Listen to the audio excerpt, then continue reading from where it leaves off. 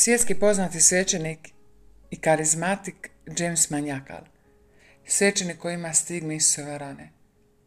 U jednom svom videu rekao je Sve ovo zemaljsko prolazi. Trudi se samo ko jednoga. Da uđete u Bože kraljestvo. Znamo kamo nas taj put vodi. I znamo tko nas ondje očekuje u svojim stanovima. Na svijetu smo da bi svejedno bili u zajedništvu sa gospodinom Isusom Kristom. Doći će vrijeme kad te više neće biti. Doći će vrijeme kad nas neće biti. Kad neće biti više ni slike o nama u onima koji dolazi iza nas.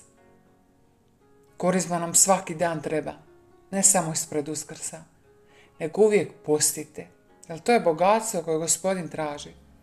Ono što vrijedi za cijeli Boži narod, za crkvu, vrijedi poglavito i za pojedince u njoj.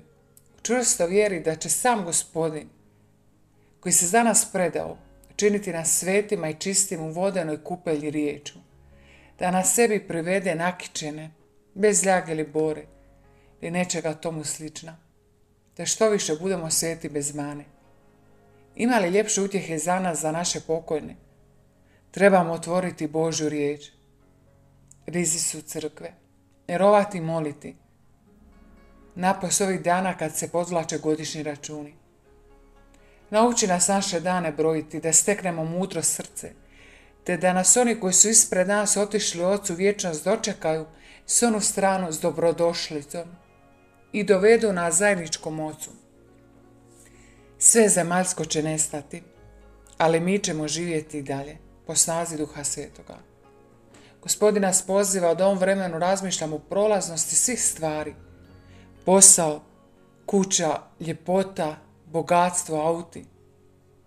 Stoga nas gospodin poziva da rastemo u našoj osobnosti, u dobroti, ljubavi prema bližemu. Ona je skrivena u Kristu, ona je dah Božji. Ovo je vrijeme za osobnu duhovnu obnovu. Pokušajte se pronaći. Provodite vrijeme u tišini. Za takav početak u životu nikad nije kasno. Ići u susret novom životu.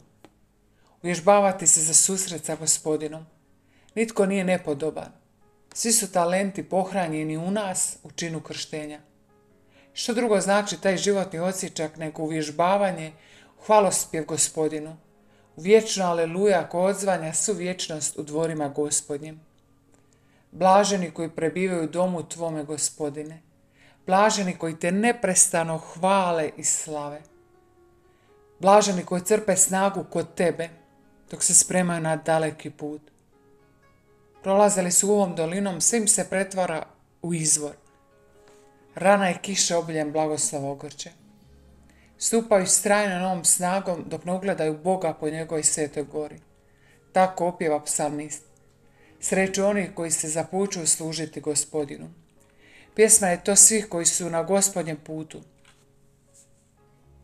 Ko to pak od nas nije unovačen, tko se ne sprema služiti gospodinu. Gledaj da sad gledaš na Boga, moli se i već sad živi sveto. Sad je prilika. Odrekni se onoga što ne valja. Ne gledaj ono što ne valja. Ti biraš. Prihvati Isusa, čistoću, prihvati radost, prihvati život. Donesi dobre odluke već sada.